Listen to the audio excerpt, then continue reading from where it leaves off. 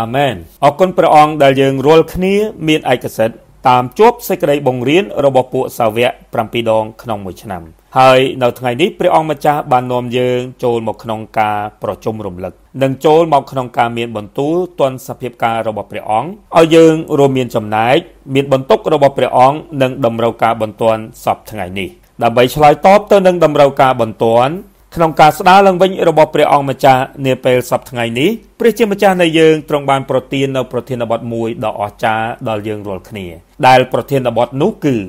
ការស្គាល់សេចក្តីពិតការដាច់ខាតចំពោះសេចក្តីពិត និងការប្រកាសពីសេចក្តីពិត នៅក្នុងយុគសម័យដ៏អាក្រក់បច្ចុប្បន្ននេះ Hallelujah អរគុណដល់ព្រះអង្គសម្រាប់ប្រធានបទរួម ដែលប្រើក្នុងការប្រជុំរំលឹកនេះគឺជាព្រះハរតីប្រាថ្នារបស់ព្រះ និងជាសេចក្តីទាមទារដ៏ខ្ពង់ខ្ពស់ដល់ពួកអ្នកបម្រើរបស់ព្រះអង្គគ្រប់ទាំងអ្នកបម្រើព្រះអង្គចាំបាច់ត្រូវឆ្លើយតបនឹងព្រះハរតីចង់បាននេះដោយខំប្រឹងថ្វាយខ្លួនដល់ព្រះទុកជាមនុស្សដែលបានលបងលោជាប់ហើយ ជាអ្នកធ្វើការដែលមិនត្រូវខ្មាស់ដោយកាត់ស្រាយព្រះបន្ទូលនៃសេចក្តីពិតយ៉ាងត្រឹមត្រូវពីធីម៉ូថេចំពុក2ខ2បានបញ្ជាក់បន្ថែមថាអស់ទាំងសេចក្តីដែលអ្នកបានលើពីខ្ញុំ នៅមុខសមបន្ទាល់ជាច្រើននោះក៏ត្រូវផ្ញើទុកនឹងមនុស្សស្មោះត្រង់ដែលអាចបង្ហាត់បង្រៀនទៅអ្នកដតីទៀតដែរដើម្បីឲ្យគេស្គាល់សេចក្តីពិតដាច់ខាតចំពោះសេចក្តីពិត និងប្រកាសពីសេចក្តីពិតនៅក្នុងយុគសម័យដ៏អាក្រក់បច្ចុប្បន្ននេះយើងនៅបន្ទុក10ចំណុចដែលជាប្រធានបទរួមនៅក្នុង6មេរៀននៃការប្រជុំរំលឹកនេះទី1ការស្គាល់សេចក្តីពិតទី2ការដាច់ខាតចំពោះសេចក្តីពិតទី3ការមានសេចក្តីស្រឡាញ់ចំពោះសេចក្តីពិតទី4ការទិញសេចក្តីពិតទី5ការឲ្យសេចក្តីពិតคล้ายមកជាសភាពពិតរបស់យើងទី6ការបត់ពិសោធន៍នៅសេចក្តីពិតទី7ការករូបដោយសេចក្តីពិតទី8ការដើរនៅក្នុងសេចក្តីពិតទី9ការប្រកាសពីសេចក្តីពិតនិងទី10 ការតយុទ្ធសម្រាប់សេចក្តីពិតសង្ឃឹមថា10ចំណុចនេះអាចជួយយើងជំរុញយើងនិងចម្រើនកម្លាំងយើងហើយយើងអាចឈរយ៉ាងរឹងមាំចំពោះសេចក្តីពិតដើម្បីទាស់ប្រឆាំងនឹងស្ថានភាពលោកីសពថ្ងៃនេះអរគុណព្រះអង្គឥឡូវយើងចូលមកដល់មេរៀនទី1របស់យើង ប្រធានបទការស្គាល់សេចក្តីពិតការដាច់ខាតចំពោះសេចក្តីពិតនិងការកាន់ភ្ជាប់ភាពដាច់ខាតនៃសេចក្តីពិតហើយធ្វើទីបន្ទាល់ពីសេចក្តីពិតនៅក្នុងលោកីដ៏អាក្រក់សពថ្ងៃនេះ ខព្រះគម្ពីរសំខាន់នៅក្នុងមេរៀនទី1យូហានចំពុក18ខ37អេពីសូតចំពុក2ខ2រ៉ូមចំពុក12ខ2និង1យូហានចំពុក5ខ19ដល់ខ20ដើម្បីឲ្យខ្ញុំបានធ្វើបន្ទាល់ពីសេចក្តីពិតអស់អ្នកណាដែលកើតពីសេចក្តីពិតនោះនឹងឮសំឡេងខ្ញុំព្រះអង្គម្ចាស់យេស៊ូវបានបញ្ជាក់ថាខ្ញុំបានកើតមកហើយចូលទៅក្នុងលោកីយ៍នេះសម្រាប់តែការនោះឯងពីព្រោះអ្វី ពីព្រោះអ្នករាល់គ្នាបានប្រព្រឹត្តតាមរបៀបលោកីយ៍នេះ គឺតាមមេគ្រប់គ្រងរាជលើអាកាសជាវិញ្ញាណដែលសពថ្ងៃនេះបណ្ដាលមកក្នុងពួកមនុស្សរឹងចចេះនេះជាហេតុផលដែលព្រះអង្គម្ចាស់យេស៊ូវបញ្ជាក់នៅខខាងលើដូច្នេះកុំត្រាប់តាមសម័យនេះឡើយចូលឲ្យអ្នករាល់គ្នាបានផ្លាស់ប្រែវិញ ដោយគំនិតបានកែជាថ្មី ដើម្បីនឹងអាចលោមើលឲ្យបានស្គាល់បំណងប្រាតីនៃព្រះដែលល្អស្រួលទទួលហើយគ្រប់លក្ខផងពីព្រោះយើងដឹងថា យើងមកពីព្រះពិតតែលោកីទាំងមូល បានដេកក្នុងអវាទនៃមេកំណាចវិញ ហើយយើងក៏ដឹងថាព្រះរាជបុត្រានៃព្រះបានយាងមកហើយ ក៏បានប្រទានឲ្យយើងរាល់គ្នាមានប្រាជ្ញា ដើម្បីឲ្យបានស្គាល់ព្រះដ៏ពិតប្រាកដគឺព្រះយេស៊ូវជាព្រះរាជបុត្រានៃទ្រង់ព្រះអង្គនោះជាព្រះពិតប្រាកដហើយជាជីវិតអកលជានិច្ចផង នៅក្នុងប្រធានបទមេរៀនទី1របស់ផងយើងចែកចេញជា4រ៉ូម៉ាំងធំធំ ដែលរ៉ូម៉ាំងទី1និយាយអំពីការស្គាល់សេចក្តីពិតហើយរ៉ូម៉ាំងទី2និយាយអំពីនិយមន័យនៃសេចក្តីពិតលេខរ៉ូម៉ាំងទី3និយាយអំពីការកាន់ភ្ជាប់ភាពដាច់ខាតនៃសេចក្តីពិតនិងលេខរ៉ូម៉ាំងទី4ការធ្វើទីបន្ទាល់ពីសេចក្តីពិត Hallelujah អរគុណដល់ព្រះអង្គឥឡូវយើងចូលមកនៅក្នុងលេខរ៉ូម៉ាំងទី1របស់យើង ការស្ដារឡើងវិញរបស់ព្រះអង្គម្ចាស់គឺជាការស្ដារឡើងវិញនៅសេចក្តីពិតរបស់ព្រះ ដែលត្រូវបានបើកសម្ដែងនៅក្នុងព្រះបន្ទូលរបស់ព្រះអង្គតើសេចក្តីពិតគឺជាអ្វីអក្សរ A បានឆ្លើយថាសេចក្តីពិតគឺជាព្រះត្រីឯកជាមួយព្រះបន្ទូលរបស់ព្រះដោយយោងទៅតាមព្រះគម្ពីរយូហានចំពុក17ខ17បានចែងថា សូមញែកគេចេញជាបរិសុទ្ធដោយសេចក្តីពិតរបស់ទ្រង់ឯសេចក្តីពិតគឺជាព្រះបន្ទូលរបស់ទ្រង់ហើយនៅចំពុក18ខ37បានចែងថាដើម្បីឲ្យខ្ញុំបានធ្វើបន្ទាល់ពីសេចក្តីពិតហើយអស់អ្នកដែលកើតពីសេចក្តីពិតនោះនឹងឮសំឡេងខ្ញុំអរគុណដល់ព្រះអង្គសេចក្តីពិតជាច្រើននៅក្នុងព្រះបន្ទូលរបស់ព្រះត្រូវបានបាត់បង់ត្រូវបានយល់ច្រឡំហើយត្រូវបានអនុវត្តខុស ដូច្នេះត្រូវការការស្ដារឡើងវិញរបស់ព្រះអង្គម្ចាស់នាពេលសពថ្ងៃនេះការស្ដារឡើងវិញរបស់ព្រះអង្គម្ចាស់មានសេចក្តីពិតដ៏ខ្ពង់ខ្ពស់ គឺជាសេចក្តីពិតដែលសម្រេចចុងក្រោយនៃសេចក្តីពិតដែលត្រូវបានស្ដារឡើងវិញក្នុងកំឡុងពេលជាច្រើនសតវត្សអរគុណដល់ព្រះអង្គយើងនៅក្នុងយុគសម័យនេះពិតជាមានសំណាងណាស់គឺជាយុគសម័យដែលសេចក្តីពិតត្រូវបានស្ដារឡើងវិញទាំងស្រុងតាមរយៈបងប្អូន Watchmani និងបងប្អូន Witness Lee បានឲ្យយើងមានចំណែកមរតកដែលប្រសើរជាងយុគសម័យមុនមុនយើងអាចនិយាយបានថា យើងនៅក្នុងយុគសម័យនៃការស្ដារឡើងវិញនៅសេចក្តីពិតយ៉ាងពេញលេញ Hallelujah ឥឡូវយើងមកដល់លេខរ៉ូម៉ាំងទី2ដែលជានិយមន័យនៃសេចក្តីពិតតាមភាសាក្រិកគឺ Alicia Alicia ពាក្យនេះត្រូវបាននិយាយជាង100ដង នៅក្នុងសញ្ញាថ្មីទាំងមូលដែលបញ្ជាក់អំពីសភាពពិតទាំងអស់នៃផែនការគ្រប់គ្រងរបស់ព្រះ ដែលជាខ្លឹមសារនៃការបើកសម្ដែងនិងបើកបង្ហាញរបស់ព្រះ ដោយព្រះបន្ទូលដ៏បរិសុទ្ធ8ចំណុចពីអក្សរ A ដល់អក្សរ H គឺជានិយមន័យនៃសេចក្តីពិតហើយក៏ជាចម្លើយនៃសំណួរនៅក្នុងអក្សរ A របស់លេខរ៉ូម៉ាំងទី1ដែលសួរថាតើសេចក្តីពិតគឺជាអ្វីសេចក្តីពិតគឺជាព្រះត្រីឯកជាមួយព្រះបន្ទូលរបស់ព្រះ ដូច្នេះនៅក្នុងលេខរ៉ូម៉ាំងទី2អក្សរ A B C គឺជាព្រះត្រីឯកដែលអក្សរ A និយាយអំពីសេចក្តីពិតគឺជាព្រះអក្សរ B សេចក្តីពិតគឺជាព្រះគ្រីស្ទសេចក្តីពិតគឺជាព្រះវិញ្ញាណ ហើយនៅក្នុងអក្សរ D បាននិយាយថាសេចក្តីពិតគឺជាព្រះបន្ទូលរបស់ព្រះ ជាការបើកសម្ដែង និងចែកចាយសភាពពិតនៃព្រះហើយព្រះគ្រីស្ទនិងគ្រប់រឿងរ៉ាវទាំងអស់របស់ព្រះ និងរឿងរ៉ាវខាងឯវិញ្ញាណមិនត្រឹមតែប៉ុណ្ណោះសេចក្តីពិតគឺជាចំណុះនៃសេចក្តីជំនឿដែលជាអង្គធាតុជាក់លាក់ពីអ្វីដែលយើងជឿនិងជាសភាពពិតនៃដំណឹងល្អ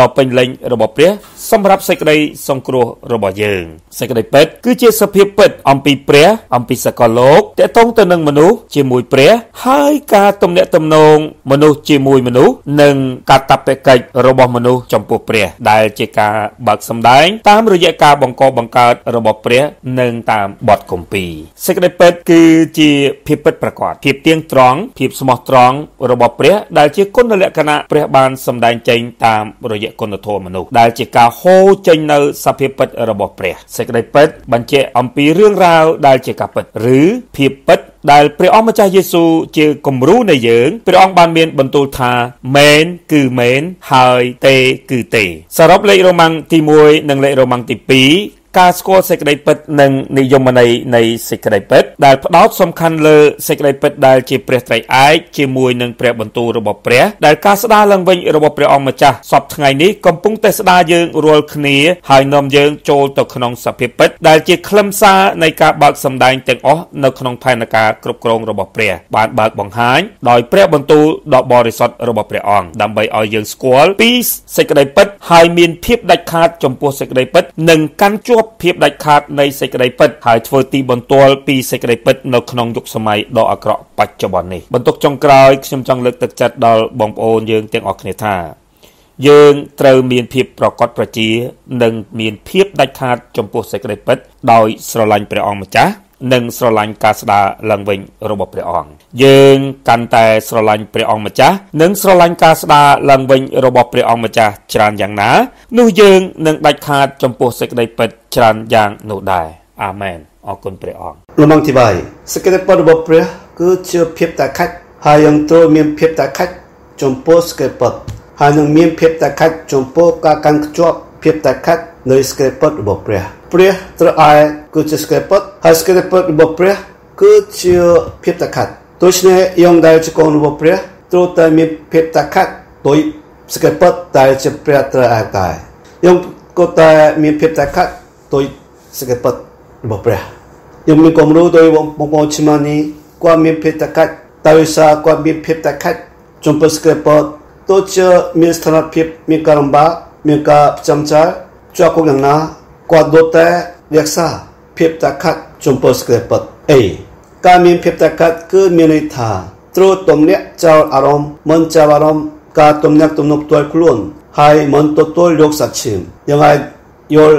អត្ថន័យនេះតាមនោះជាគំរូដោយពំពន់អត់ឆ្មានេះផងដែរ Scrapot គឺជាស្តង់ដារតែមួយគត់ហើយយ៉ាងចូលតែឈរនៅខាងនៃ Scrapot ដើម្បីប្រឆាំងនឹងខ្លួនយើងមានតែពេលដែលយ៉ាងត្រូវបានសង្គ្រោះពីខ្លួនយើងប៉ុណ្ណោះ ទើបអាចរក្សាភាពតាខាត់នៃ Scrapot បានប្រសិនបើ Scrapot មិនមែនជាភាពតាខាត់សម្រាប់យ៉ាងនោះយ៉ាងមិនស្គាល់ព្រះហើយយ៉ាងក៏មិនស្គាល់ព្រះបន្ទូលរបស់ព្រះផងដែរប្រសិនបើយ៉ាងមិនមានភាពតាខាត់ចំពោះ Scrapot ទេយ៉ាងនឹងលះបង់ Scrapot របស់ព្រះជាម្ចាស់សម្រាប់ពងប្រាថ្នារបស់យើងផ្ទាល់យើងគួរគោរព scraper របស់ព្រះយកផ្លៅនៃ scraper ហើយទោះជាមានរបៀបយ៉ាងណាក៏ដោយមិន ត្រូវសំលួសំលួលចំពោះ scraper ទេ2យើងត្រូវមានភាពតាខាត់ចំពោះ scraper ទាំងផ្នែកខាងក្រៅនិងផ្នែកខាងក្នុង scraper នៅក្នុងព្រះគម្ពីរមានផ្នែកខាងក្រៅ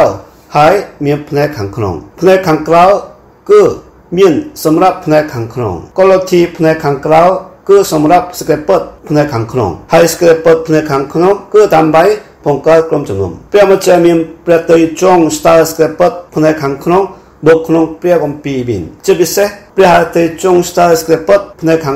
ដែលតាក់ទាំងនឹងព្រះត្រូវឯកនឹងក្រុមជំនុំលំងទី4ពេលយើងធ្វើទីបន្ទាល់ចំពោះស្កេពតនៅក្នុងយុគសម័យបច្ចុប្បន្ននេះតើយើងមានភាពតែមួយជាមួយព្រះគ្រីស្ទដែលមានជ័យជំនះនៅក្នុងប្រយោគប្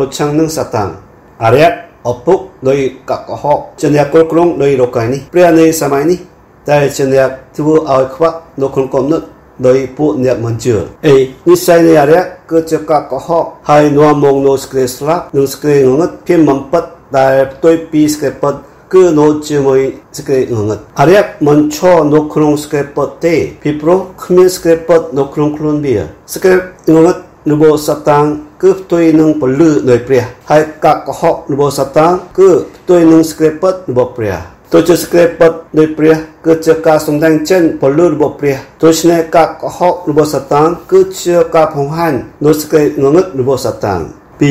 នៃសម័យនេះគឺជាសតាំងជាអ្នកបញ្ឆោតដែលគ្រប់គ្រងនៃសម័យបច្ចុប្បន្ននេះវាត្រួតត្រាលើលោកីសប្តាហ៍នេះហើយឆក់យកការថ្វាយបង្គំរបស់មនុស្សដោយធ្វើឲ្យខ្វាក់នៅក្នុងគំនិតទស្សនានៃពលអ្នកមិនជឿធ្វើឲ្យខ្វាក់នៅក្នុងខនេះមានន័យថាធ្វើឲ្យមនុស្សមិនយល់ដឹងគំនិតនៅក្នុងខនេះបានជាអំពីសមត្ថភាពការយល់ដឹងរបស់គំនិត C រកៃទាំងមូលស្ថិតនៅក្នុងរបៀបនៃមេកំណាច់ពីនប្រព័ន្ធរកៃទាំងមូលរបស់សាតាំងនិងមនុស្សរកៃជាមនុស្សលោកតែ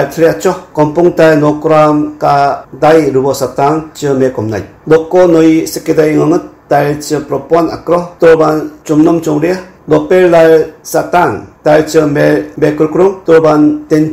ដៃរប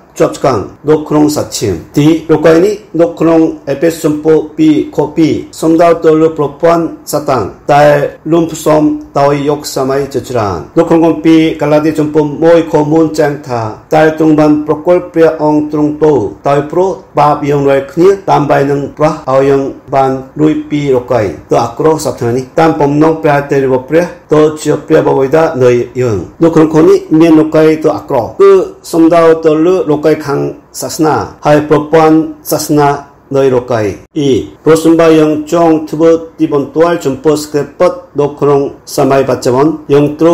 នឹងប្រោះឲ្យយើងបាន រួចពីរកៃទៅអាក្រក់សប្តាហ៍នេះតាមបំណងព្រះទេវព្រះទៅជាព្រះបវេដានៃយើងនៅក្នុងខនេះមានរកៃទៅអាក្រក់គឺសំដៅទៅលើរកៃខាងសាសនាហើយប្រព័ន្ធសាសនានៅរកៃអ៊ីប្រសិនបើយើងចង់ធ្វើទីបន្ទាល់ចំពោះស្គ្រីបតនៅក្នុងសម័យបច្ចុប្បន្នយើងត្រូវស្ដាប់បង្គាប់នៅការបង្គាប់របស់ផលលោកក្នុងលំចំពោះ12ខ2ក៏មកត្រាប់តាមសម័យនេះឡើយចូលឲ្យនៅនៅគ្នាបានផ្លាប់ប្រែវិញតើគំនិតបានការជាថ្មីឡើងដូចនេះការត្រាប់តាមឬមានរូបភាពដូចគ្នាគឺជាអ្វីដែលយកការសម្ដែងចេញខាងក្រៅការសម្ដែងនេះមិនមែនចេញមកពីអង្គទេហើយមិនមែនតំណាងឲ្យការរៀបរៀងមានជីវិតផ្នែកខាងក្នុងយើងតែការជាថ្មីដែរយើងត្រូវឲ្យវិញ្ញាណរំបានជួយគ្នាពង្រីក ចូលក្នុងគំនិតរបស់យើងខ្លាយទៅជាវិញ្ញាណដោយគំនិតហើយឲ្យគំនិតអារម្មណ៍ឆន្ទៈរបស់យើងធ្វើឲ្យញែកចេញជាថ្មីតាមរយៈកតា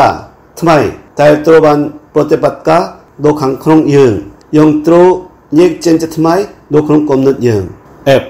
ដូច្នេះចូលឲ្យឈរមកមុនចុះតើក្របសេចក្តីពិតនៅនឹងចង្កេះការក្របសេ ចក្តីពិតនៅនឹងចង្កេះគឺដើម្បីចម្រើនកំណងខ្លួនយើងទាំងមូល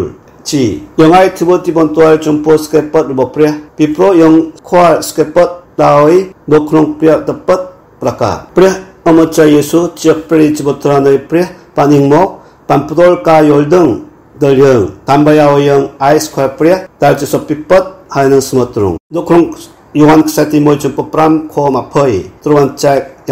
យនឹងស្មោះត្រង់នៅក្នុងយូហានខ្សែទី1ចំពោះ5ខ20ទ្រង់ចែកយ៉ាងដូចនេះយើងក៏ដឹងថាព្រះរាជបុត្រនៃព្រះបាននឹងមកហើយក៏បានប្រទានឲ្យយើងរាល់គ្នាមានប្រាជ្ញាដើម្បីឲ្យបានស្គាល់ព្រះតពិតប្រកាសយើងរាល់គ្នាជាអ្នកនៅក្នុងព្រះតពិតប្រកាសនោះគឺក្នុងព្រះយេស៊ូវគ្រីស្ទជាព្រះពុត្រនៃទ្រង់ព្រះអង្គនោះឯងជាព្រះពប្រកាសហើយជាជីវិតអកលចនិតផង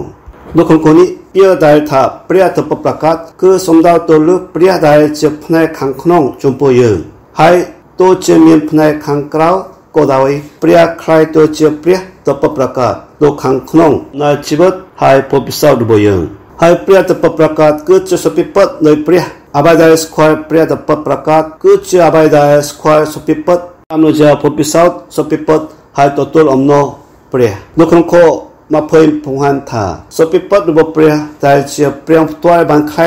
ជាសុភិពតរបស់យើងនៅក្នុង ពុទ្ធពិសោធន៍របស់យើងព្រះដែលផ្នែកខាងក្រៅពីមុនខ្លាយទៅជាសុភិពតផ្នែកខាងក្នុងរបស់យើងតែព្រោះយើងស្គាល់ព្រះតពិតហើយព្រះវិញ្ញាណនៃស្គាល់ពិតហើយដោយព្រោះព្រះគ្រីស្ទពួកមនុស្សព្រះដែលជាផលថត់ចំណងរបស់ព្រះគ្រីស្ទជាមនុស្សព្រះដំបងយើងអាចធ្វើទីបន្ទាល់ចំពោះស្គាល់ពិតតែព្រះអង្គទ្រង់ផ្ទាល់បានធ្វើហើយទ្រង់មានបន្ទូលថាខ្ញុំបាន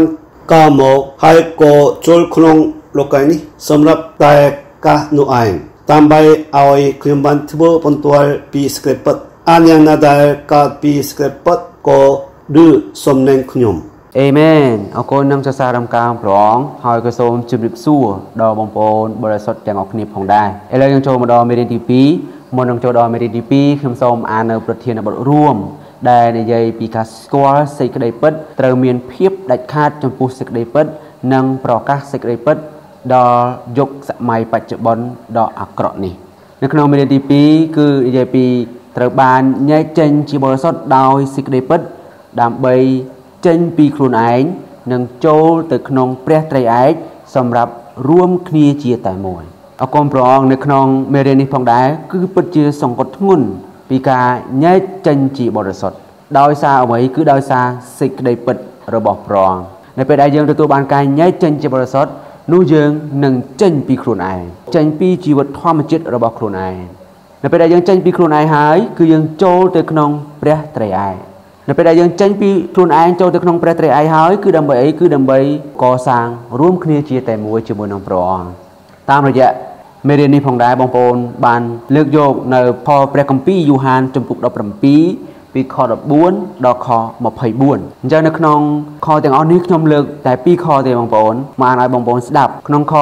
14គឺនិយាយពី ទូបង្គំបានឲ្យព្រះបន្ទូលត្រង់ដល់គេ ហើយលោកីបានស្អប់គេ ពីព្រោះគេមិនមែនជារបស់លោកីទេដូចនេះទូបង្គំក៏មិនមែនជារបស់លោកីដែរនៅក្នុងខ17និយាយថាសូមញែកគេចេញជាបរិសុទ្ធដោយសារសេចក្តីពិតរបស់ទ្រង់ឯសេចក្តីពិត គឺជាព្រះបន្ទូលរបស់ទ្រង់នៅពេលដែលយើងទទួលបានការញែកចេញជាបរិសុទ្ធញែកចេញដោយសារព្រះបន្ទូលដោយសារសេចក្តីពិតរបស់ព្រះអង្គធ្វើឲ្យយើងបានចាក់ចេញពីខ្លួនរបស់យើងធ្វើយើងបានចាក់ចេញពីសមត្ថភាពនិងជីវិតធម្មជាតិរបស់យើងនិងចូលទៅក្នុងព្រះត្រីឯកសម្រាប់រួមគ្នាជាតែមួយតាមរយៈសេចក្តីពិតយ៉ាងដូចនេះអាចនិយាយបានថាពីមុនឆ្លងកាត់ការបទពិសោធន៍របស់ផងខ្ញុំនៅពេលដែលខ្ញុំជឿព្រះអង្គដំបូងដំបូងនៅក្នុងក្រុមជំនុំស្ដារឡើងវិញរបស់ព្រះអង្គគឺខ្ញុំតែងតែឮជារឿយរឿយបងប្អូនតែងតែនិយាយថា សេចក្តីពិតសេចក្តីពិតសេចក្តីពិតអញ្ចឹងខ្ញុំអត់ដឹងថាសេចក្តីពិតហ្នឹងគឺជាអ្វីនៅពេលដែលបងប្អូននិយាយថាសេចក្តីពិតអរគុណព្រះអង្គឆ្លងកាត់ការដំណើរជីវិតនៅក្នុងក្រុមជំនុំឆ្លងកាត់ការប្រជុំជាមួយនឹងបងប្អូនឆ្លងកាត់ការបត់ពិសោធន៍ហើយរហូតមកដល់បច្ចុប្បន្នក៏ឲ្យយើងបានមើលឃើញកាន់តែច្បាស់ខ្ញុំមើល ឃឃើញនិងដឹងកាន់តែច្បាស់ថាសេចក្តីពិតគឺជាអ្វីជាពិសេសនៅក្នុងខ17និយាយថាសូមញែកគេចេញជាបរិសុទ្ធដោយសារសេចក្តីពិតរបស់ទ្រង់ឯសេចក្តីពិតគឺជាព្រះបន្ទូលរបស់ទ្រង់អញ្ចឹងយើងក្រឡេកមកមើលក្នុងលេខរម៉ាំងទី1លេខរម៉ាំងទី1ក៏បញ្ជាក់អំពីអត្តន័យនៃសេចក្តីពិតនេះផងដែរក្នុងលេខរម៉ាំងទី1បានប្រាប់យើងថាសេចក្តីពិតគឺជាពន្លឺរបស់ព្រះ បំភ្លឺមកលើរឿងពិតរបស់ព្រះគម្ពីរនិងជា ទូរទស្សន៍ខាងឋានសួគ៌បងប្អូននិយាយពីទូរទស្សន៍ខាងឋានសួគ៌អញ្ចឹងសេចក្តីពិតគឺប្រៀបដូចជាទូរទស្សន៍ខាងឋានសួគ៌ហើយដើម្បីបានជាបងប្អូនប្រៀបធៀបដូចជាទូរទស្សន៍ខាងឋានសួគ៌យ៉ាងដូចនេះដោយសារអីដោយសារសេចក្តីពិតគឺជាពន្លឺសម្រាប់បំភ្លឺទោះខាងឋានសួគ៌នេះបាននាំនិមិត្តខាងវិញ្ញាណរបស់រឿងពិតទាំងនេះចូលមកក្នុងយើងទាំងស្រុងនៅក្នុងគម្ពីរសញ្ញាថ្មីសេចក្តីពិត ក៏បង្ហាញពីប្រភេទនៃទូរទស្សន៍ខាងឋានសួគ៌នេះផងដែរអញ្ចឹងនៅក្នុងអក្សរ A បានប្រាប់យើងថារឿងពិតរបស់ព្រះទាំងអស់គឺមាននៅក្នុងព្រះបន្ទូលនិងបញ្ជូនមកដល់យើងតាមរយៈព្រះបន្ទូលនៅពេលដែលព្រះវិញ្ញាណបំភ្លឺមកលើព្រះបន្ទូល យើងមានទូរទស្សន៍ខាងឋានសួគ៌ពន្លឺបំភ្លឺមកលើរឿងពិតនៅក្នុងព្រះបន្ទូល ហើយបញ្ជូននិមិត្តខាងឋានសួគ៌ វាបញ្ជូននិមិត្តឋានសួគ៌នៃរឿងពិតទាំងនេះចូលមកក្នុងយើង បន្ទាប់មកយើងក៏ស្គាល់សេចក្តីពិតទាំងស្រុងតាមរយៈសេចក្តីពិតគឺជាពន្លឺដែលប្រៀបដូចជាទូរទស្សន៍ខាងឋានសួគ៌អញ្ចឹងបន្តមកទៀតដើម្បីឲ្យទូរទស្សន៍នេះកាន់តែមានការបំភ្លឺ យើងក៏ត្រូវការអីត្រូវការព្រះវិញ្ញាណនៅក្នុងអក្សរ B បានប្រកាសថាព្រះវិញ្ញាណគឺខ្លាយមកជាព្រះវិញ្ញាណនៃសេចក្តីពិតខ្លាយជាព្រះវិញ្ញាណនៃសភាពពិតអញ្ចឹងព្រះវិញ្ញាណនៃសភាពពិត គឺជាចរន្តអគិសនីខាងឋានសួគ៌ខាងលើយើងមានសេចក្តីពិតគឺជាទូរទស្សន៍ខាងឋានសួគ៌ខាងក្រោមយើងមានព្រះវិញ្ញាណនៃសភាពពិត គឺជាចរន្តអគិសនីខាងឋានសួគ៌ចរន្តនេះគឺនាំយករឿងរ៉ាវខាងវិញ្ញាណបញ្ជូនចូលមកខាងក្នុងយើងទាំងស្រុងផងដែរ ព្រះវិញ្ញាណនៃសភាពពិតនាំយើងចូលទៅក្នុងសភាពពិតទាំងអស់តាមរយៈព្រះវិញ្ញាណដែលជាសភាពពិតគឺជាចរន្តអគិសនីបានឆ្លងកាត់បំភ្លឺមកលើសេចក្តីពិតដែលជាព្រះមន្ទូលរបស់ផងព្រះអង្គដែលជាទូរទស្សន៍ខាងឋានសួគ៌ដើម្បីឆ្លុះបញ្ចាំងឲ្យយើងបានមើលឃើញពីរឿងពិតនៅក្នុងព្រះគម្ពីរទាំងស្រុងអញ្ចឹងនៅក្នុងអក្សរស៊ីបានប្រាប់យើងថាព្រះវិញ្ញាណ នៅពេលដែលព្រះវិញ្ញាណនៃសេចក្តីពិតជាព្រះវិញ្ញាណនៃសភាពពិតភ្លឺមកលើរឿងពិតខាងវិញ្ញាណដែលបានកត់ត្រាទុកនិងបានរក្សាទុកនៅក្នុងព្រះគម្ពីរនោះយើងទទួលបានសេចក្តីពិតយ៉ាងពិតប្រាកដប្រសិនបើយើងអានព្រះបន្ទូលដោយគ្មានពន្លឺនៃព្រះវិញ្ញាណនេះទេ យើងអាចខ្លាចទៅជាកុលធិឬក៏ខ្លាចទៅជាអ្នករាយការណ៍ព័ត៌មានម្នាក់តែមិនមានអ្វីមិនមានភាពពិត មិនមានសេចក្តីពិតមិនមានសភាពពិតឬមិនមាននិមិត្តនៅផ្នែកខាងក្នុងរបស់ផងយើងដូច្នេះគឺយើងមិនទទួលបានអ្វីពីការអានព្រះបន្ទូលនោះឡើយយើងត្រូវការទូលទូខាងឯឋានសួគ៌ដែលជាសេចក្តីពិតបំភ្លឺមកលើយើងហើយក៏យើងត្រូវការទទួលបានព្រះវិញ្ញាណនៃសភាពពិតគឺជាចរន្តអកិសនីខាងឋានសួគ៌ដែលនាំយករឿងរ៉ាវផ្នែកវិញ្ញាណចូលមកផ្នែកខាងក្នុងយើងទាំងស្រុងព្រះម្ចាស់គឺជាពន្លឺព្រះម្ចាស់គឺជាសេចក្តីពិត ព្រះម្ចាស់គឺជាព្រះបន្ទូលឃើញថាព្រះបន្ទូល គឺជាសេចក្តីពិតតែងតែភ្លឺតែងតែបញ្ចេញបំពន្លឺបញ្ចេញពន្លឺមកដល់យើងដោយសារអីនៅក្នុងព្រះបន្ទូលគឺមានពន្លឺដោយសារសេចក្តីពិតជាការបំភ្លឺហើយជាពន្លឺនៃជីវិតដូចនេះសេចក្តីពិតពន្លឺនិងជីវិត គឺมันអាចញែកចេញពីគ្នាបាននោះឡើយបងប្អូនពេលណាដែលពន្លឺរបស់ព្រះបានភ្លឺមកលើយើងយើងក៏ខ្លាចទៅជា សេចក្តីពិតនៅក្នុងយើង ហើយបានចែកចាយជីវិតដល់យើងទាំងស្រុងផងដែរដូច្នេះគឺយើងត្រូវការមើលឃើញពីសេចក្តីពិតរបស់ផងព្រះអង្គឲ្យកាន់តែច្រើនឡើងផងដែរពេលដែលយើងមើលឃើញពេលដែលយើងទទួលបានសេចក្តីពិតយ៉ាងដូចនេះសេចក្តីពិតក៏មានមុខងារសម្រាប់ជួយយើងបានច្រើនដូចជានៅក្នុងលេខរម៉ាំងទី2បានប្រាប់ថាសេចក្តីពិតមានមុខងារពីរយ៉ាង អញ្ចឹងមុខងារទី1សេចក្តីពិតបានរំដោះយើងឲ្យរួចពីចំណងនៃបាបរំដោះយើងឲ្យរួចផុតពីរឿងរ៉ាវអវិជ្ជមានមុខងារទី2សេចក្តីពិតញែកយើងចេញជាបរិសុទ្ធទាំងផ្នែកឋានៈនិងផ្នែកនិស្ស័យដោយធ្វើឲ្យយើងបានជ្រួតជ្រាបដោយអង្គធាតុរបស់ព្រះនៅក្នុងលេខរម៉ាំងទី3ដោយសារពេលវេលាតិចព្រះត្រីឯកនៅក្នុងព្រះបន្ទូលរបស់ទ្រង់បានទទួលស្គាល់ដោយយើង ហើយត្រូវបានចែកចាយនិងបានចូលទៅក្នុងយើងទាំងស្រុងគឺជាសេចក្តីពិតដែលបានរំដោះយើងឲ្យរួចនិងញែកយើងចេញជាបរិសុទ្ធនៅទីនេះបងប្អូនបានលើកឡើងយ៉ាងចំចំក៏ប្រៀបដូចជានៅក្នុងការបទពិសោធន៍របស់ផងយើងរាល់ថ្ងៃនៅពេលណាដែលយើងខកចិត្តឬក៏ធ្លាក់ទឹកចិត្តឬមានអារម្មណ៍ទទេនៅផ្នែកខាងក្នុងយើងនោះយើងអាចបើកខ្លួនរបស់យើងហើយចូលមកឯព្រះបន្ទូលរបស់ផងព្រះអង្គបន្ទាប់ពីយើងអានមួយរយៈមកយើងក៏មានអារម្មណ៍នៅផ្នែកខាងក្នុងយើងថាយើងពិតជាទទួលបាន អំណរនៅប្រវត្តិមានរបស់ព្រះអង្គម្ចាស់ដោយសារការអានព្រះបន្ទូលរបស់ផងព្រះអង្គដោយការទទួលយកព្រះបន្ទូលតាមរបៀបយ៉ាងដូចនេះនឹងមានអ្វីមួយរបស់ព្រះអង្គម្ចាស់ត្រូវបានចូលមកផ្នែកខាងក្នុងរបស់ផងយើងដែលនេះគឺជាសភាពពិត នៃព្រះត្រីឯកដែលមានភាពរស់រវើកនឹងធ្វើចលនានឹងធ្វើការនឹងបំបែកជីវិតធម្មជាតិរបស់ផងយើងយើងត្រូវការអំណរនិងប៉ះពាល់នៅព្រះបន្ទូលរបស់ផងព្រះអង្គជាពិសេសនៅពេលព្រឹកការស្ដារឡើងវិញរបស់ផងយើងការរៀនខាត់វិញ្ញាណរបស់ផងយើងដើម្បីប៉ះពាល់ជាមួយនឹងព្រះបន្ទូលរបស់ផងព្រះអង្គជារៀងរាល់ថ្ងៃ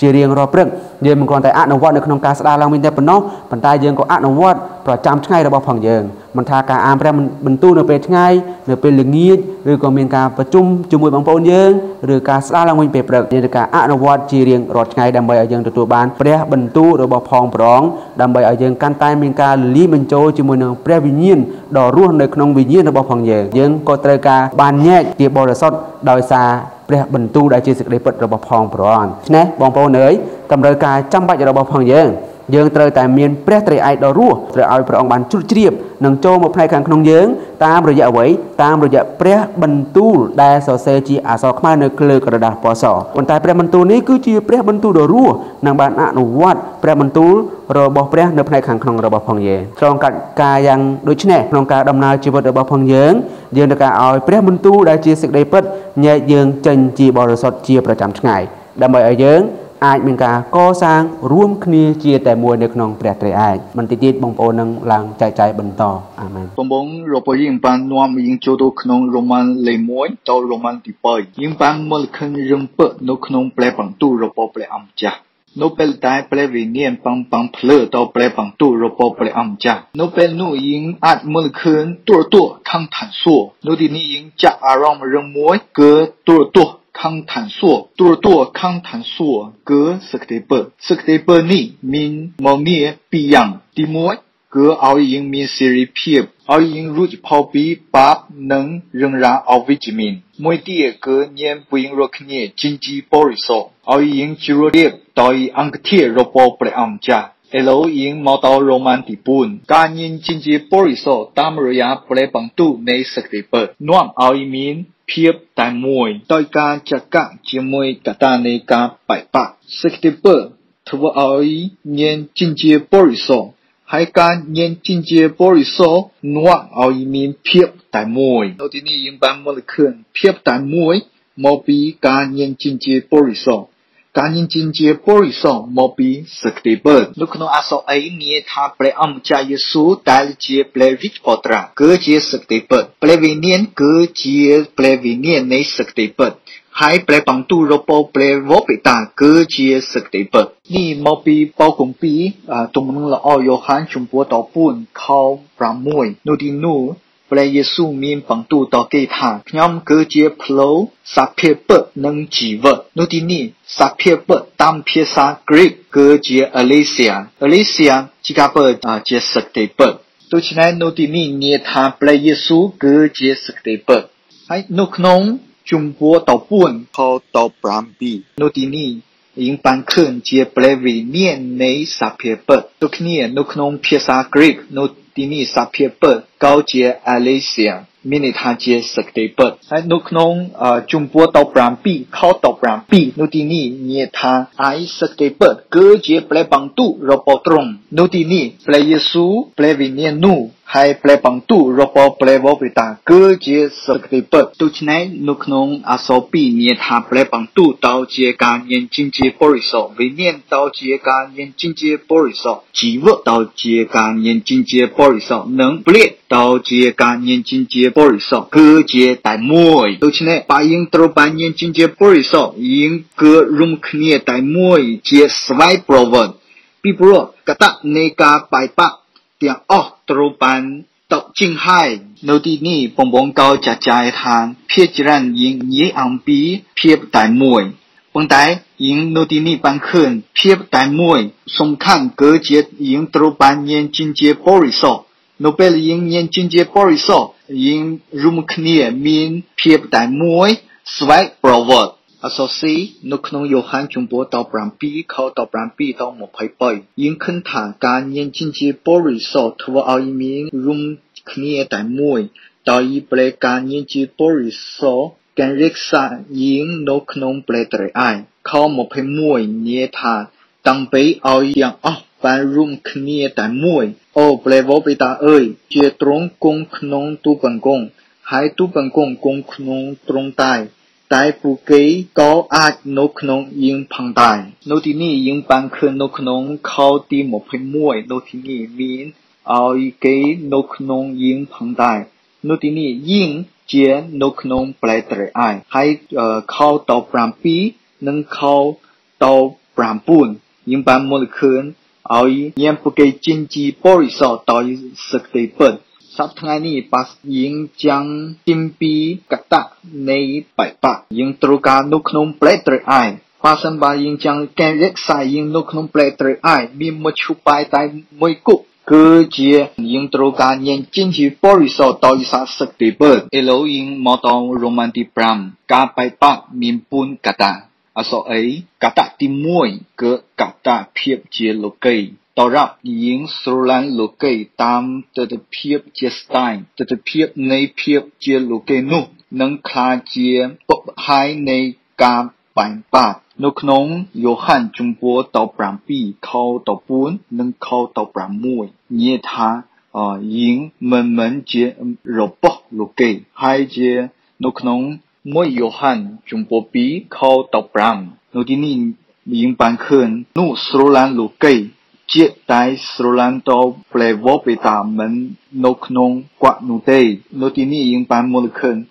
ពួកយើងរកគ្នាមិនមែនជារបស់លោកគេបើសិនបើយើងស្រឡាញ់លោកគេនឹងខ្លាចជាកតានៃបាយបាត់អសពីពុបហើយមួយទៀតនៃការបាយបាត់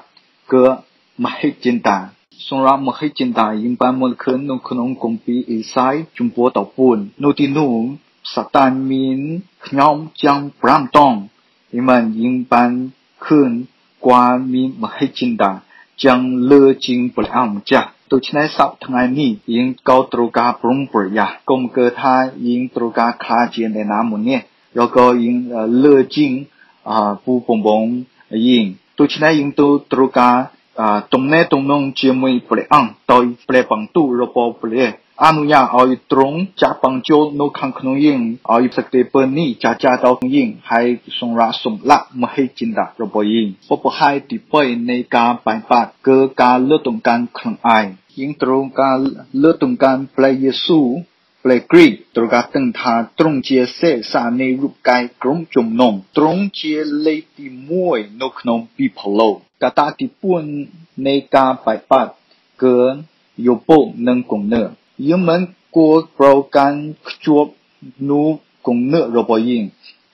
តែស្វែងរកគោលតរបស់ព្រះអង្គម្ចាស់ដែលជាការស្ដារឡើងវិញរបស់ព្រះគ្រីស្ទជាជីវិតនិងជាអវ័យគ្រប់យ៉ាងសម្រាប់កសាងក្រុមជំនុំឡើងនៅទីនេះយើងបានមកឃើញយើ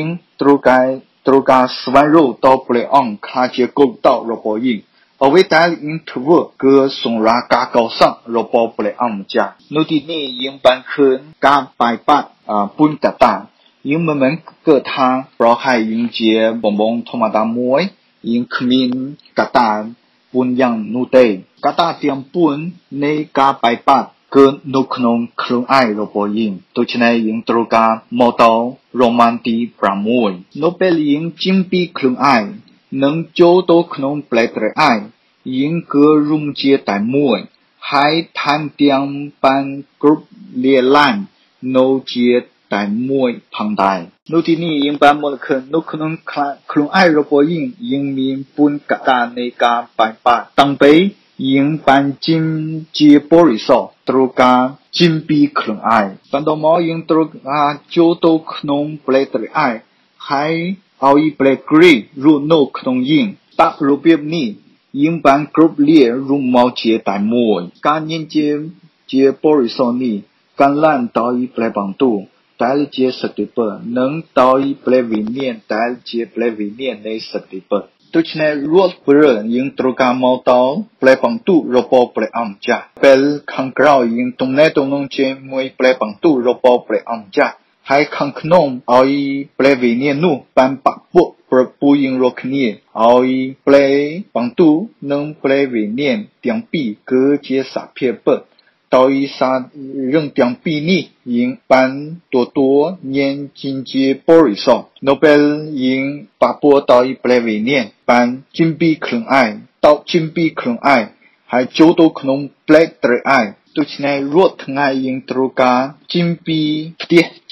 នជិមពីខ្លួនឯងតោជិមពីខ្លួនឯងហើយចូលទៅក្នុង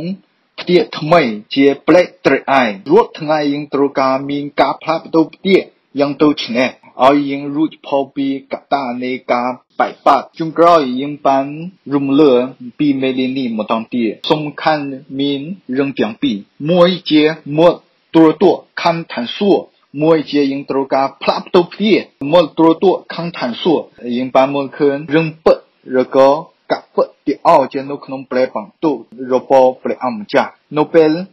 អាកេសិនីខំឋានសួគ៌គឺប្រែវិញ្ញាណបងភ្លឺទៅប្រែបន្ទោះហើយនេះបានខ្លាចជាសក្តិពិតគឺជាទ្រទោះខំឋានសួគ៌ហើយយើងត្រូវការផ្លាក់ផ្ទុះផ្ទាតើព្រោះនៅក្នុងខ្លួនឯងរប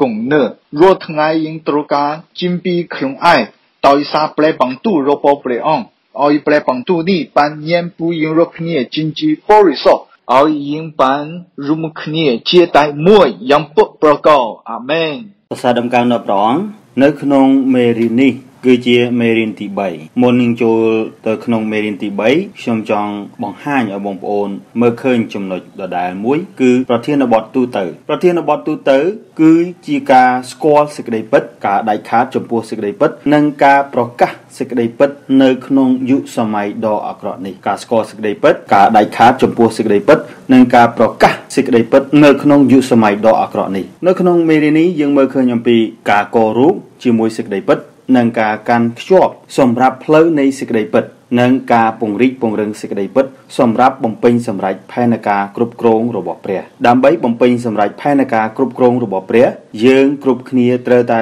ករូបជាមួយសេចក្តីពិតពីព្រោះសេចក្តីពិតគឺជាផ្លូវសេចក្តីពិតគឺជាការពង្រីកពង្រឹងទាំងពីរនេះយើងមើលឃើញថាគឺដើម្បីបំពេញសម្រេចផែនការគ្រប់គ្រងរបស់ព្រះមេរៀននេះគឺជាចំណុចសំខាន់មេរៀននេះគឺជាការអនុវត្តជាក់ស្ដែងរបស់យើងមេរៀននេះពិតជាមានសារៈសំខាន់សម្រាប់យើងមែនទែនដូចជាសាវកប៉ុលគាត់បានសរសេរ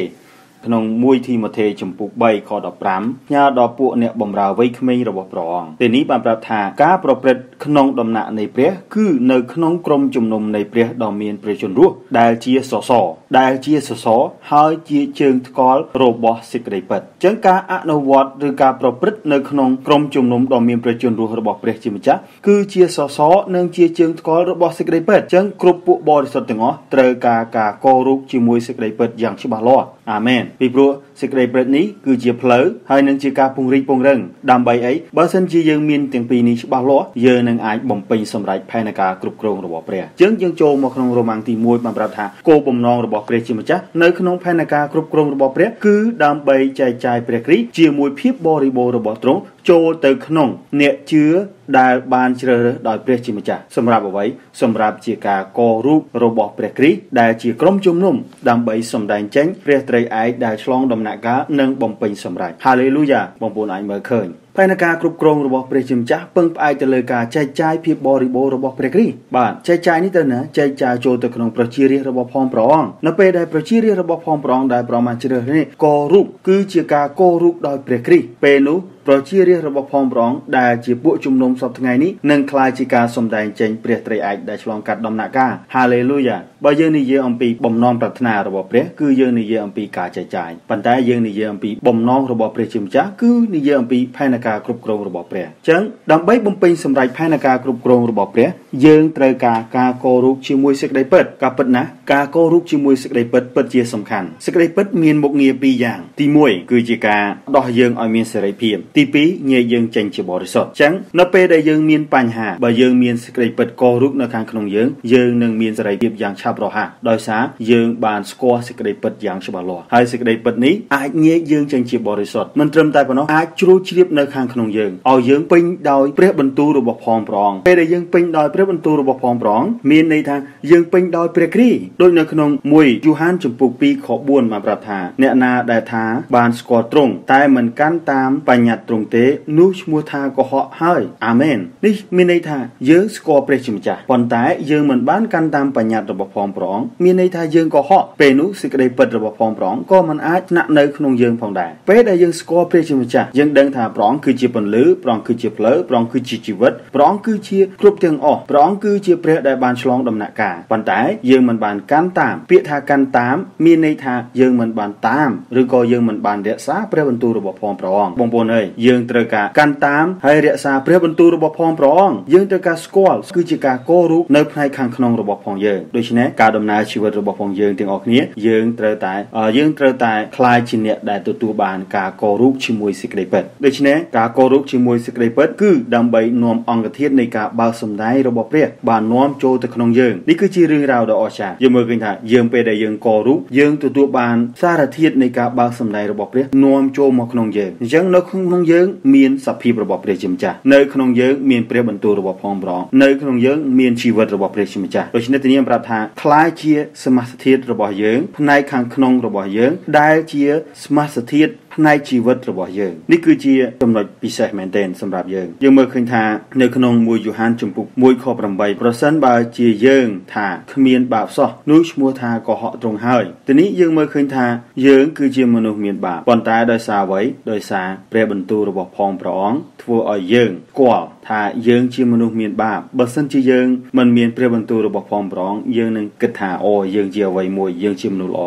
ប៉ុន្តែពេលដែលយើងស្គាល់ព្រះបន្ទូលរបស់ផងព្រះអង្គយើងបានកោរូបជាមួយព្រះបន្ទូលរបស់ផងព្រះអង្គយើងដឹងខ្លួនយើងជានរណាហើយព្រះបន្ទូលនេះក៏សន្ធិដ្ឋនៅខាងក្នុងយើងព្រះបន្ទូលគឺជាសភាពិតរបស់ព្រះជាម្ចាស់ព្រះបន្ទូលគឺជាពន្លឺរបស់ព្រះជាម្ចាស់មានតែព្រះបន្ទូលរបស់ព្រះជាម្ចាស់ប៉ុណ្ណោះគឺជាសេចក្តីពិតដើម្បីឲ្យយើងងាយស្រួលនៅក្នុងការយល់នៅក្នុងមេរៀននេះយើងត្រូវការ មើលឃើញអំពីសេចក្តីពិតគឺជាអាហាររឹងដែលជាការកោរូបចូលទៅខាងក្នុងយើងคล้ายជាយើងនិងចិញ្ចឹមយើងជានិច្ចនិងជារៀងរហូតសេចក្តីពិតមិនត្រឹមតែកោរូបជ្រួលជ្រាបមិនដែលដោះយើងឲ្យយើងមានសេរីភាពនិងងាយយើងចេញជាបរិសុទ្ធប៉ុណ្ណោះទេការកោរូបដោយសេចក្តីពិតคล้ายជាការចិញ្ចឹមដល់យើងការចិញ្ចឹមរបស់យើងនេះមិនមែនចិញ្ចឹមតែមួយថ្ងៃប៉ុន្តែចិញ្ចឹមយើងជានិច្ចនិងចិញ្ចឹមយើងរហូតយើងត្រូវការប្រើពេលវេលាដើម្បីទន្ទិញដើម្បីរៀនដើម្បីចែកចាយសេចក្តី ពិតរបស់ផងព្រះអង្គឲ្យមានភាពបរិបូរណ៍ដូច្នេះយើងត្រូវការចំណាយពេលជញ្ជឹងគិតឬក៏ចំណាយពេល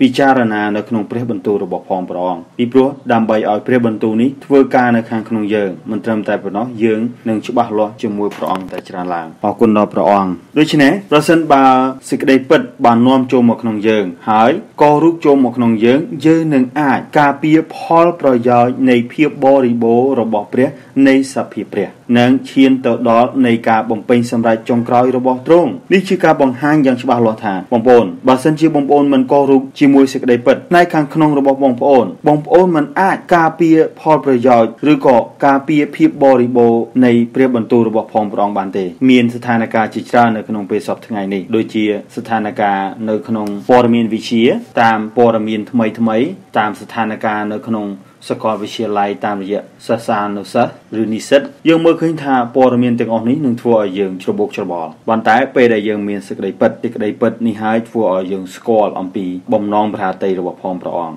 ដែលព្រះអង្គកំពុងតែធ្វើការឆ្ពោះទៅមុខជារៀងរាល់ថ្ងៃមិនត្រឹមតែប៉ុណ្ណោះយើងជាបុគ្គលតែទទួលបានសេចក្តីសង្គ្រោះគួរតែស្គាល់ដល់ពេញលេញឬក៏ការយល់ដឹងដល់ពេញលេញ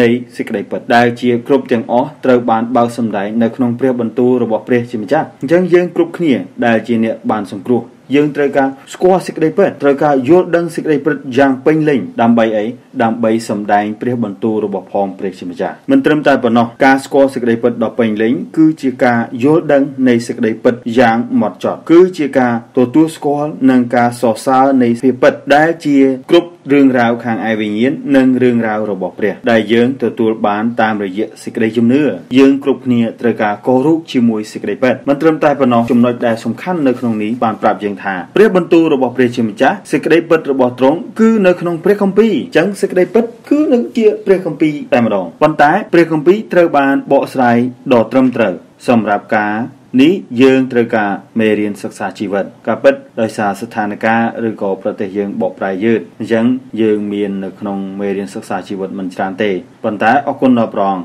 យើងមានលំមុំគ្រប់គ្រាន់សម្រាប់ឲ្យយើងអាចករូបជាមួយសេចក្តីពិតដូច្នេះយើងត្រូវការបងថ្លៃបងថ្លៃនៅទីនេះសម្រាប់អ្វីដើម្បីរៀនសេចក្តីពិតការពិតសេចក្តីពិតយើងត្រូវការពេលវេលាមិនត្រឹមតែត្រូវការពេលវេលាយើងត្រូវការបងថ្លៃចំណាយពេលចូលទៅក្នុងសេចក្តីពិតរៀននិយាយសេចក្តីពិតទី1បានប្រាប់ថាយើងត្រូវការចូលទៅក្នុងសារៈសំខាន់ផ្នែកខាងក្នុងនៃបទគម្ពីរបរិសុទ្ធដើម្បីស្វែងរកឃើញអ្វីដែលព្រះជាម្ចាស់មានបន្ទូលនិងអ្វីដែលព្រះចង់បានទីនេះគឺជាការបង្ហាញយ៉ាងច្បាស់លាស់ថាសារៈសំខាន់ផ្នែកខាងក្នុងនៃ គម្ពីរបរិសុទ្ធដើម្បីស្វែងរកគឺយើងត្រូវការស្គាល់ថាអ្វីដែលព្រះអង្គមានបន្ទូលនិងអ្វីដែលព្រះអង្គចង់បាននៅក្នុងព្រះគម្ពីរតែយើងគ្មានសិទ្ធិបង្កើតអ្វីមួយទោះបីយើងរកឃើញអ្វីដែលនៅក្នុងព្រះគម្ពីរបន្ទាប់ពីយើងរៀនសេចក្តីពិតយើងត្រូវតែបត់ពិសោធន៍យើងត្រូវការបត់ពិសោធន៍ព្រះគ្រីស្ទដើម្បីឲ្យទ្រង់คล้ายជាសភាពពិតរបស់យើងដូច្នេះ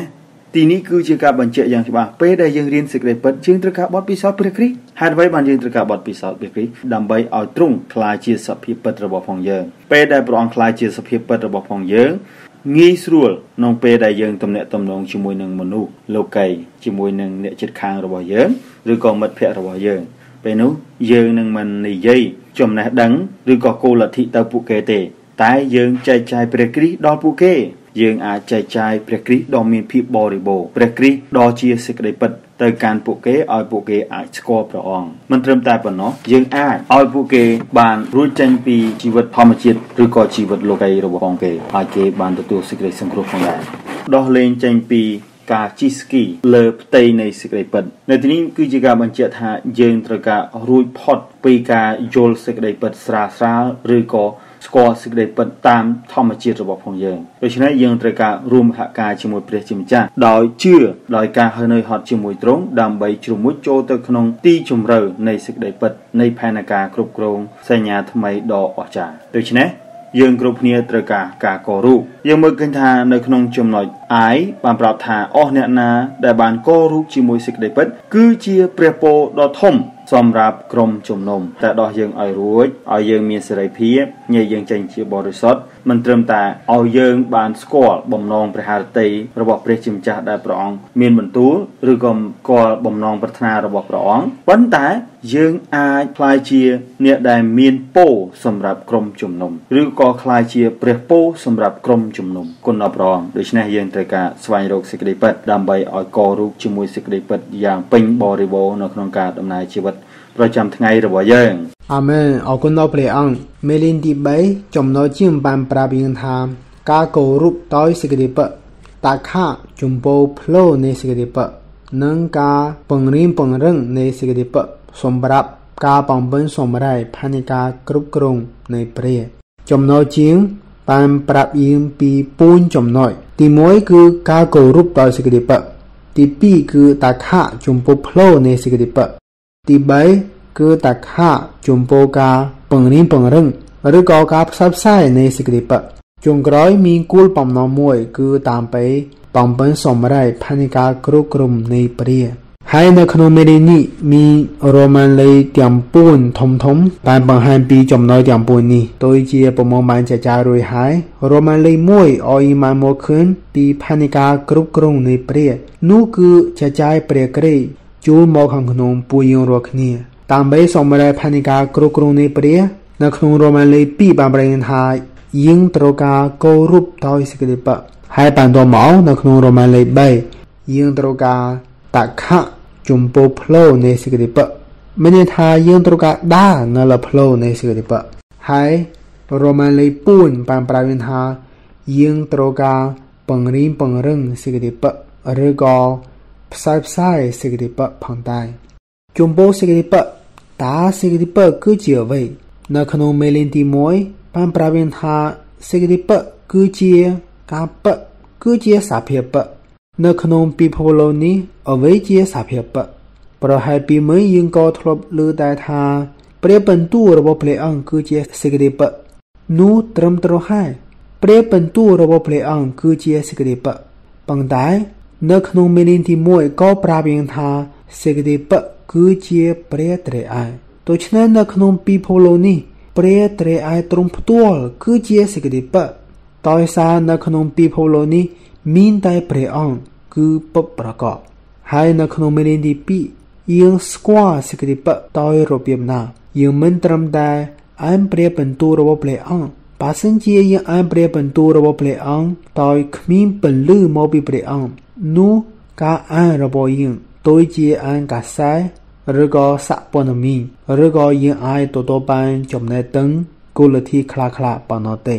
មានតែពន្លឺរបស់ព្រះអង្គបានបំភ្លឺនៅខាងក្នុងយើងនោះទឹកនឹងនាំឲ្យយើងស្គាល់សេចក្តីពិតបាននោះទឹកនាំព្រះបន្ទូលព្រះអង្គคล้ายជាសភាពពិតនៅខាងក្នុងយើងហើយនៅក្នុងមេរៀនទី3 បានផ្ដោតសំខាន់ទៅលើយើងត្រូវការកោរូបដោយសេចក្តីពិតតើការកោរូបដោយសេចក្តីពិតមានន័យថាម៉េចយើងមិនត្រឹមតែត្រូវការស្គាល់សេចក្តីពិតប៉ុណ្ណោះទេប៉ុន្តែត្រូវការឲ្យសេចក្តីពិតនេះបានកោរូបលៀងឡើងនៅខាងក្នុងយើងបានកោរូបនៅខាងក្នុងយើងមានន័យថាបានคล้ายជាផ្នែកមួយនៅខាងក្នុងយើងបានคล้ายជាអង្គធាតុឬក៏ធាតុដើមคล้ายជាការគោរពនៅខាងក្នុងយើង ដូច្នេះនេះមិនត្រឹមតែទីមទាយើងឲ្យអានព្រះគម្ពីរហើយតន្ទិញចាំព្រះគម្ពីរប៉ុណ្ណោះទេ ការគោរពដោយសេចក្តីពិតមានន័យថាព្រះបន្ទូលរបស់ព្រះអង្គបានคล้ายជាសភាពពិតបានគោរពនៅខាងក្នុងយើងបានคล้ายជាផ្នែកមួយនៅខាងក្នុងយើងតាមពេលត្រូវបានគោរពដោយសេចក្តីពិតនោះយើងត្រូវការបឹងថ្លៃបឹងថ្លៃនៅទីនេះមានពីរទស្សនវិជ្ជា ទី1គឺយើងត្រូវការបឹងថ្លៃក្នុងការសិក្សាសេចក្តីពិតសំបីដែលយើងត្រូវការស្រាវជ្រាវសេចក្តីពិតយើងត្រូវការចំណេះពេលវេលាតាមពេលអានព្រះបន្ទូលព្រះអង្គហើយយើងក៏ត្រូវការអានអធិដ្ឋានព្រះបន្ទូលព្រះអង្គតាមពេលឲ្យព្រះបន្ទូលព្រះអង្គคล้ายជាព្រះវិញ្ញាណហើយជាពន្លឺបានពំភ្លឺនៅខាងក្នុងយើងនៅពេលនោះយើងតបអាចស្គាល់សេចក្តីពិតបានហើយបានទៅមកក្នុងទស្សនវិជ្ជាទី2 នោះគឺយើងត្រូវការបង់ថ្លៃក្នុងការប៉ាពីសសេចក្តីពិតដូចជានៅក្នុងការដំណើរជីវិតរបស់យើងពេលដែលយើងអានព្រះបន្ទូលរួចហើយប្រហែលថ្ងៃមួយ នៅខាងក្នុងយើងយើងណាយចិត្តឬក៏អង្គចិត្តចំពោះមនុស្សណាម្នាក់ឬក៏ចំពោះរឿងរ៉ាវណាមួយយើងចង់រវល់រទាំឬក៏យើងចង់និយាយអ្វីខ្លះតែជារឿងរ៉ាវអវិជ្ជមាននៅពេលនោះព្រះបន្ទូលព្រះអង្គបានមានបន្ទូលមកកាន់យើង ដូច្នេះនៅពេលនោះប្រហែលយើងនឹងបដិសេធខ្លួនឯងនោះគឺមានន័យថាយើងពឹងថ្លៃក្នុងប្រលឹងរបស់យើងដូច្នេះតាមបែកគោរពដោយសេចក្តីពិតនោះយើងត្រូវការពឹងថ្លៃទាំងសិក្សាសេចក្តីពិតទាំងប៉ាពីសសេចក្តីពិតផងដែរបានដល់មកនៅក្នុងរ៉ូម៉ានលេខ3យើងត្រូវការតាខាចំពោះផ្លូវនៃសេចក្តីពិតនោះមានន័យថាយើងត្រូវការដើរនៅលើផ្លូវនៃសេចក្តីពិត ផ្លូវនៃសេចក្តីពិតគឺបង្ហាញពីការដំណើរជីវិតតែយងទៅតាមសេចក្តីពិតដូចជាបានបង្ហាញនៅក្នុង2ពេត្រុសជំពូក2ខ15ផ្លូវនៃសេចក្តីពិតគឺជាផ្លូវត្រង់នៅក្នុងជំពូក2ខ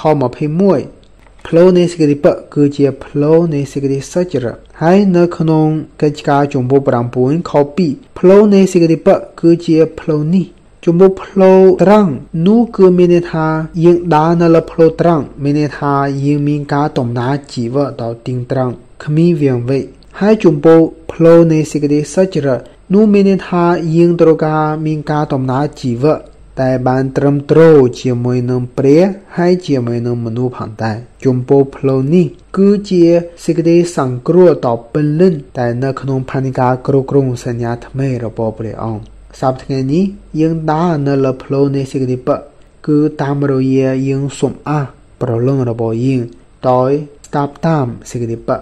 លៀងសូមអាប្រលឹងរបស់យើងនៅទីនេះដូចជានៅក្នុងគម្ពីរអេផេសូជំពូក4ទឹកនៃព្រះបន្ទូលរបស់ព្រះអង្គបានលៀងសូមអាយើងនេះគឺជ្រៅជាងព្រះលំហរបស់ព្រះអង្គបានលៀងសូមអាអំបបាប់របស់យើងដោយសារសេចក្តីពិតគឺជាសេចក្តីពិត ដែលអាចនាមពួកយើងចេញជាបរិសុទ្ធដូច្នេះសេចក្តីពិតនេះអាចលៀងសូមអាប្រលឹងរបស់យើងថ្ងៃនេះយើងដើរនៅលើផ្លូវនៃសេចក្តីពិតនោះគឺតាមរយៈយើងស្ដាប់តាមសេចក្តីពិតនោះមានន័យថា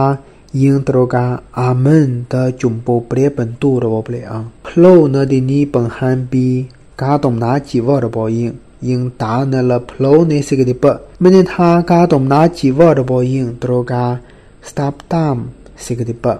យើងត្រូវការអាមែនទៅចំពោះព្រះបន្ទូលរបស់ព្រះអង្គប្រហែលនៅក្នុងការដំណើរជីវិតរបស់យើងពេលខ្លះព្រះអង្គមានបន្ទូលមកកាន់យើងនៅពេលនោះយើងត្រូវការអាមែនយើងត្រូវការឆ្លើយថាអាមែនទៅចំពោះព្រះបន្ទូលរបស់ព្រះអង្គហើយបន្តមកនៅក្នុងរ៉ូម៉ានលេ4យើងត្រូវការតាខៈក្នុងការបង្រៀនបង្រឹងឬក៏ក្នុងការផ្សព្វផ្សាយសេចក្តីពិតតាមបីផ្សព្វផ្សាយសេចក្តីពិតនៃព្រះ នោះយើងត្រូវការរួមគ្នាតែមួយជាមួយព្រះអង្គម្ចាស់ក្នុងការរៀនសេចក្តីពិតអនុវត្តសេចក្តីពិតនិយាយសេចក្តីពិតនិងផ្សព្វផ្សាយសេចក្តីពិតយើងត្រូវតែស្គាល់គ្រប់ផ្នែកនៃសេចក្តីពិតហើយអាចបោះស្រាយសេចក្តីពិតបាននៅទីនេះបងមកបានចែកចាយថាសេចក្តីពិតតែយើងចែកចាយតែយើងផ្សព្វផ្សាយមិនគួរជាសេចក្តីពិតតែ ផ្នែកគុលធិឬក៏ផ្នែកចំណេះដឹងនោះទេគួរតែជាសេចក្តីពិតតែយើងធ្លាប់បានប៉ាពិសោធន៍ដូច្នេះនេះទីមទីឲ្យយើងបានប៉ាពិសោធន៍សេចក្តីពិតតែយើងធ្លាប់រៀននៅក្នុងមេរៀននីមួយនីមួយយើងគួរតែ check មកក្នុងឯថាតើចំណុចនេះយើងធ្លាប់បានប៉ាពិសោធន៍ឬនៅហើយចំណុចនេះតើយើងប៉ាពិសោធន៍គ្រប់គ្រាន់ឬនៅ ហើយចំពោះចំណុចនេះតើយើងអាចបង្រៀនតពួកគេតាមរបៀបនៃការប៉ាពិសោធន៍ឬអត់ដូច្នេះអ្វីដែលយើងផ្សព្វផ្សាយគួរតែជាអ្វីដែលយើងធ្លាប់បានប៉ាពិសោធន៍នោះគឺជាសេចក្តីពិតដែលបានកោរូបនៅខាងក្នុងយើងអាមែនសរសើរដល់ដល់ព្រះអង្គដូច្នេះនៅក្នុងមេរៀននេះ ឲ្យមកមកឃើញការគោរពដោយសេចក្តីពិតនោះគឺជាការចាប់តាំងមួយយើងត្រូវការឲ្យសេចក្តីពិតបានគោរពនៅខាងក្នុងយើងបានទៅមកយើងត្រូវការដើរនៅលើផ្លូវនេះដើរនៅលើផ្លូវនៃសេចក្តីពិតមានន័យថាយើងត្រូវការមានការដំណើរជីវិតតែយងទៅតាមសេចក្តីពិតយើងត្រូវការឆ្លើយអាមែនទៅចំពោះព្រះបន្ទូលរបស់ព្រះអង្គតែព្រះអង្គមានបន្ទូលនៅក្នុងការដំណើរជីវិតរបស់យើង ហើយជុំក្រោយយើងត្រូវការផ្សព្វផ្សាយឲ្យសេចក្តីពិតឲ្យបង្រៀនបង្រឹងចេញទៅការផ្សព្វផ្សាយរបស់យើងមិនមែនជាគុលធិឬក៏ចំណេះដឹងនោះទេយើងត្រូវការផ្សព្វផ្សាយអ្វីដែលយើងធ្លាប់បានប៉ាពិសោធន៍អាមែនសរសើរដល់ព្រះអង្គ